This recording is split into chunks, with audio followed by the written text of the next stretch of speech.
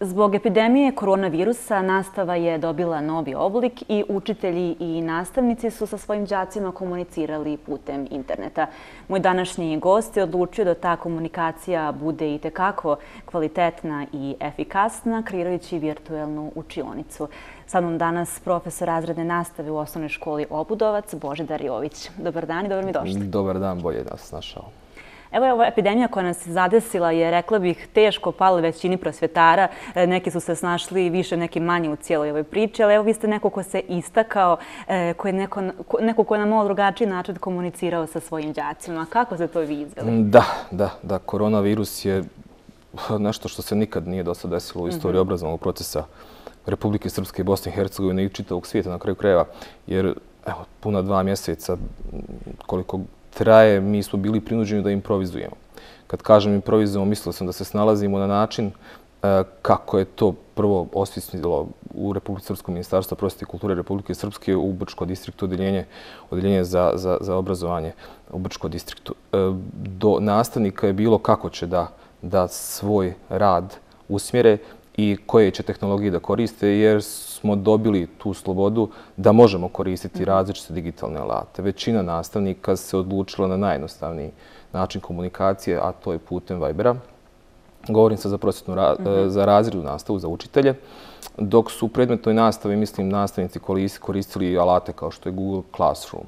Ali i u jednom i u drugom alatu, i u Viberu, i u Google Classroom eh, alatu, faktički nedostajala interakcija i roditelji su se mahom žalili na preopterećenost, jer su morali da oni preuzmu ulogu kako mhm. učitelja, tako i nastavnika, jer to što se emitovalo putem školskog časa u radio televiziji Republike Srpske, e, recimo kad je Republika Srpska u pitanju, je bilo nedovoljno da prosječan učenik savlada ili ovlada gradivom bez pomoći, bez pomoći roditelja.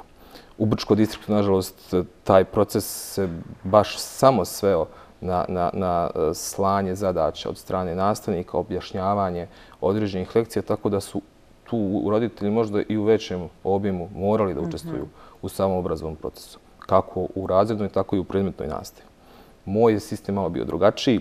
Ja sam, da bih rasteretio roditelje, e, obaveze da uče svoje dijete, da preuzimaju moj posao, odlučio napravim virtualnu učionicu. I mogu vam reći na moje veliko zadovoljstvo, roditelji su presrećni, ali ne samo roditelji, nego djeca. E, kako to funkcionisalo tehnički? Da li su svi učenici imali e, kompjutere, laptopove ili su morali se snalazi na neki način? E, Vlada Republike Srpske je predvidjela probleme koji će se dešavati u vezi sa nastavom na daljinu i poslala je dopise vrlo jasne instrukcije uputstva školama na koji način će se prevazići problem sa tehničkim nedostacima. U konkretnom slučaju mi u Obudovcu imamo 75 e, učeničkih laptopa mhm. iz projekta Dositej. To su mali laptopovi sa Windows platformom koji se koriste u redovnoj nastavi, koje sam ja inače aktivno koristio, tako da nisu bili nepoznanica za moje učenike. I ministarstvo je insistiralo da učenici koji nemaju laptop, a nastavnici koji žele da izvode nastavu na način na koje ja izvodim, imaju pravo da na revers posude računar. Ja sam iskoristio to pravo, obavijestio sam roditelje, roditelji su otišli u školu i preuzeli šest laptopova. Ja imam 16 učenika, deset imalo tehničke mogućnosti, šest nije. E sad, mhm.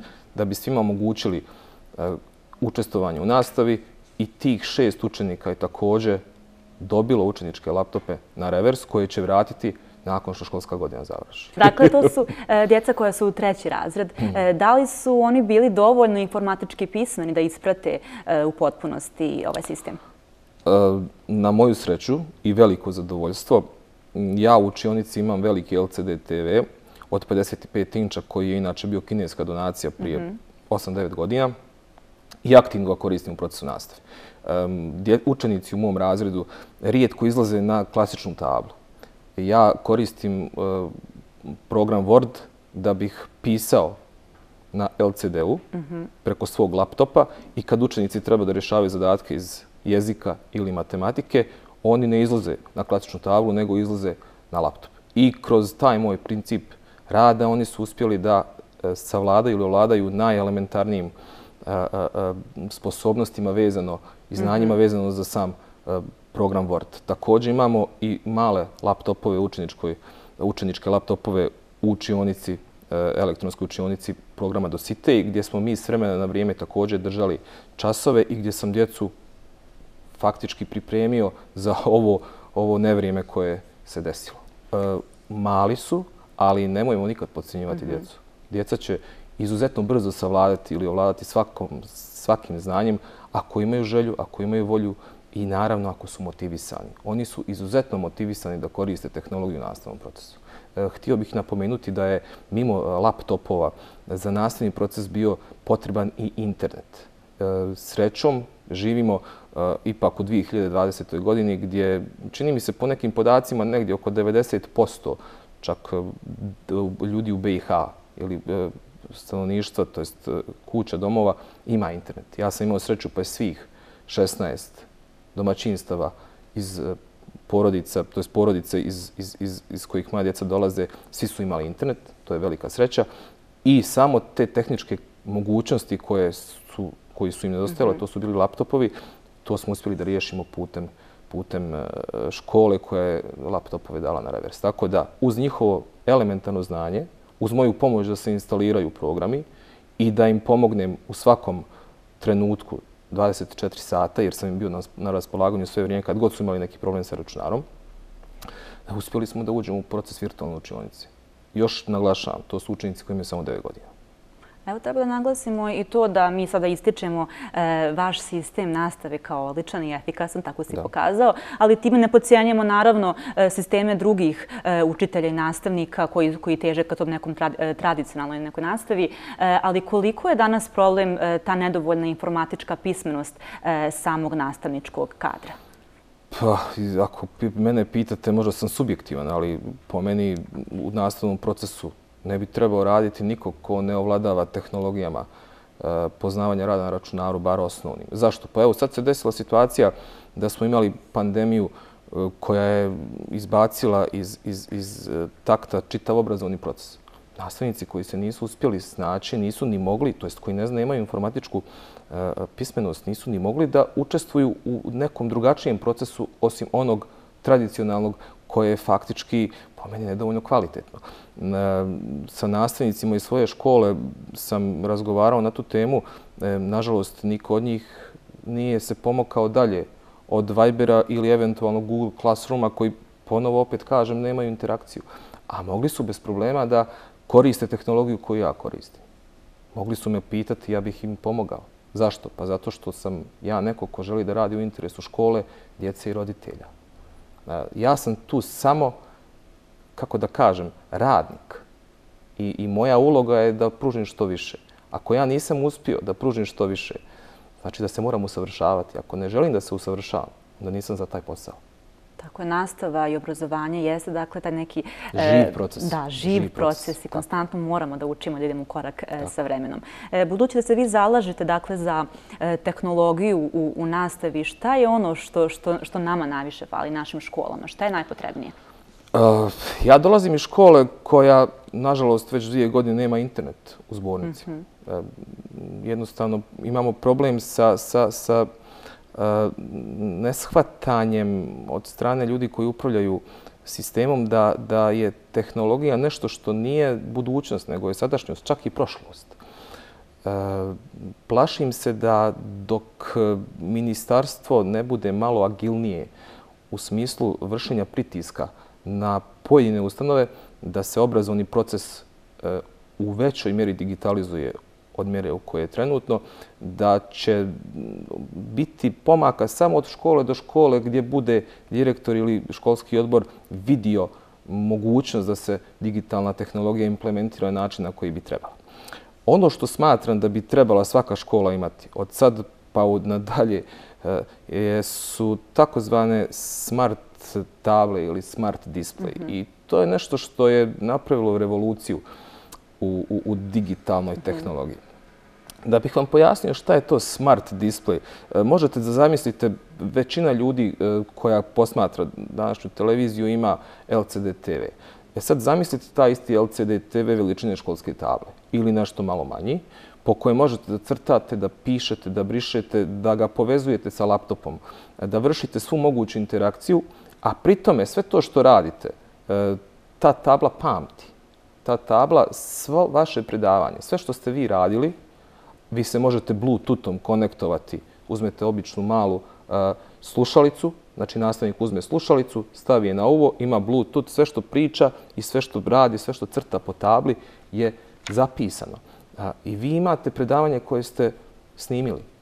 Učenik ako nije na nastavi iz nekog razloga, bolestan je, slomio je nogu, slomio je ruku, samo uđe kasnije na sajt škole, potraži predavanje iz matematike, iz fizike, iz srpskog jezika i književnosti, pogleda ga i on je faktički bio dio nastavnog procesa, bez obzira što nije bio u školi. Neće gubiti. I to je moguće sad. Zašto ne iskoristiti to što je moguće? A nije ni skupo. To zvuči jako daleko od onoga gdje smo mi sada, ali zapravo pa je... Pa da, ali stvarnost je, evo, firma iz mhm. Kozarske dubice, zaboravio sam kako se zove, prodaje table. U stvari, to nisu table, to su displeji koji imaju fantastičan kontrast. Možda ako se vi sjetite, kad ste vi išli u školu, e, pa vam neko piše tamo na tabli, pa sunce udara u tablu, pa nije tabla dobro obrisana, ne vidite šta piše. Zašto gubiti vrijeme na tome? Ovo su table gdje jednim pritiskom obrišete tablu. Ne morate više prat spužve. Ne morate trošiti krede. I to sve ne košta puno. Govorim sad iz, iz perspektive uh, jedne države ili pak jedne lokalne zajednice kao što je Brčko distrikt. Nadam se da je to naša budućnost. Ja sam ubijeđen da je to budućnost. Ako se zadržimo na tradicionalnoj nastavi, koja je ovako kakav je već, već 100 godina, bojim se da, da ćemo zaostajati za, za svijetom koji ide poprilično brzo naprijed.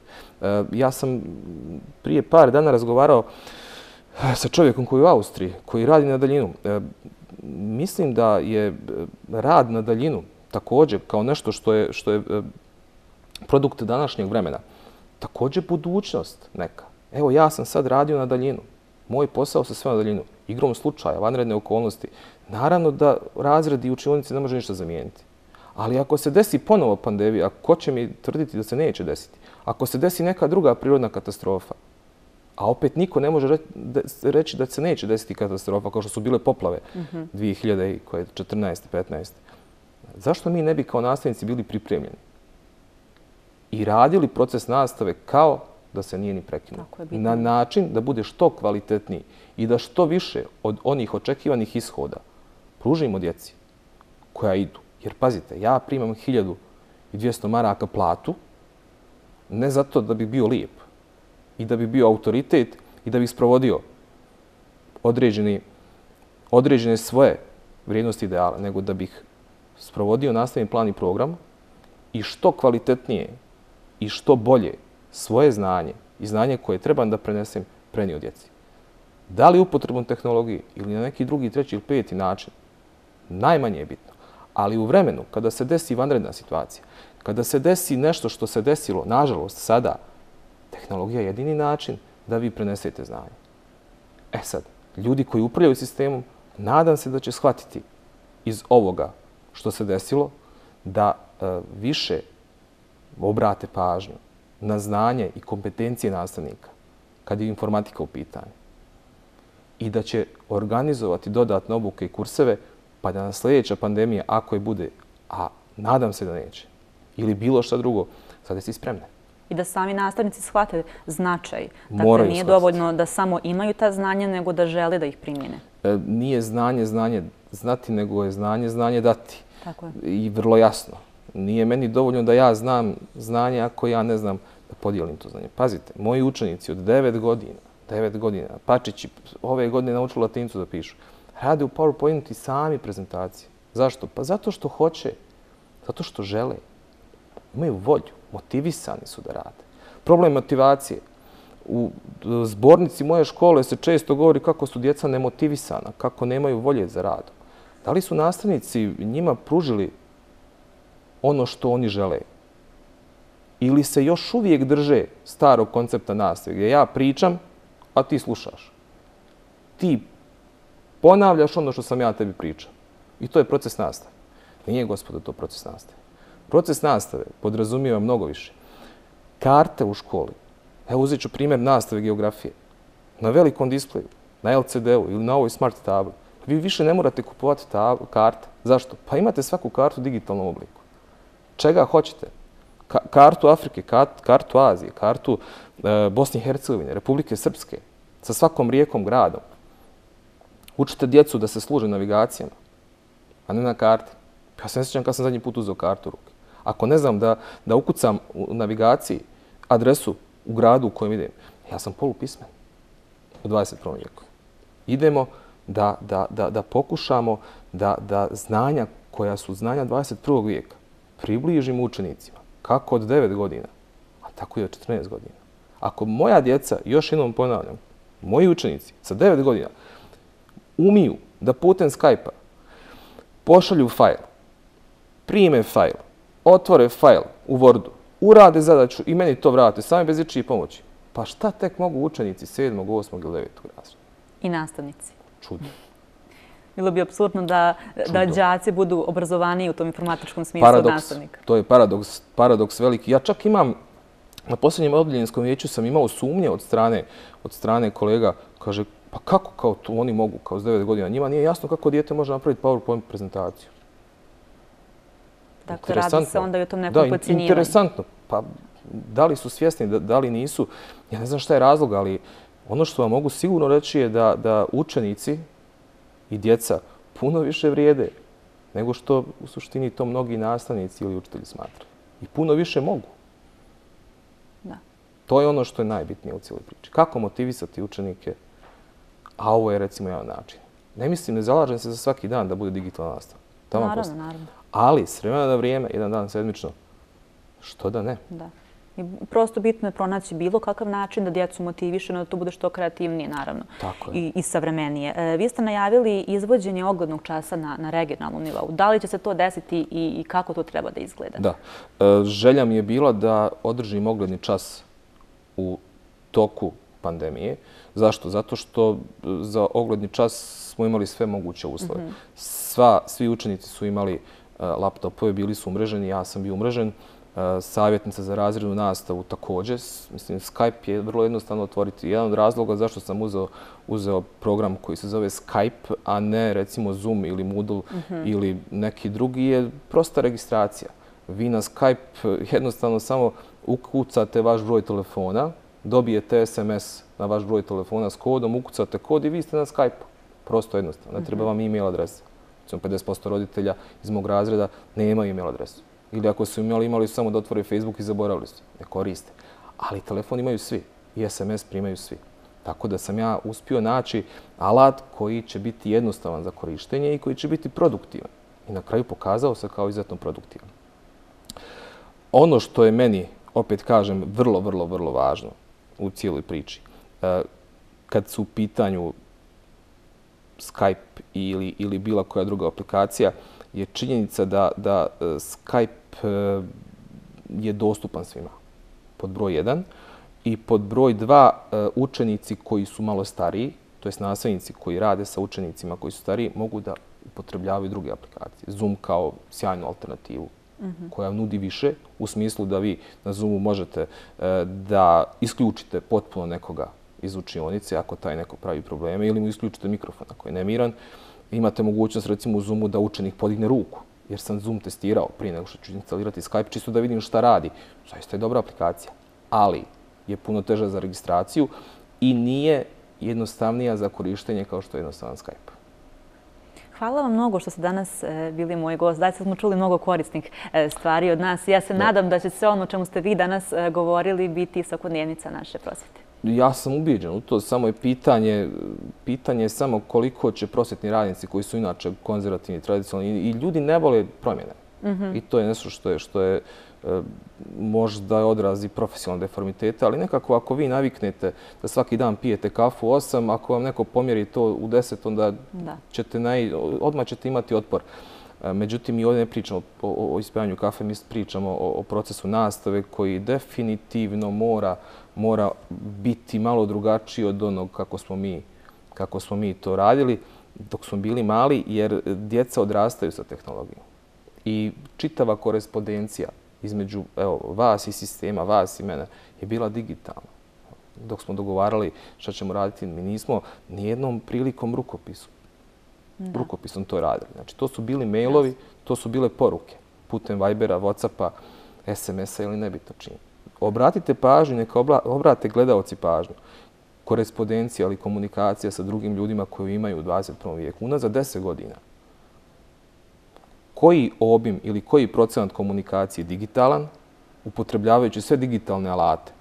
Računari, pa onda na računari mislimo na mailove, mislimo na, na, na e, ne znam, prepiske tipa vi ste napisali neki zahtjev u Wordu, okačili ste ga, poslali ste ga, Viber, Whatsapp ili bilo koje drugo. I sa druge strane, koliko ste pisama napisali, koliko ste pi, e, ručno, ručno u suštini podnijeli zahtjeva, molbi ili žalbi. Mislim da je to ogledalo sadašnjosti. Suština je da moramo ići u korak moramo, sa, da. sa vremenom. Da. Ko to shvati, e, prije će mhm. ući u ritam života 21. vijeka. Ko ne shvati, on će i dalje biti protiv, ali će kad tad prihvatiti. Morat će jednostavno ili će ga vrijeme pregaziti. Slažem se. Hvala vam još jednom. Hvala vam na gostovanju.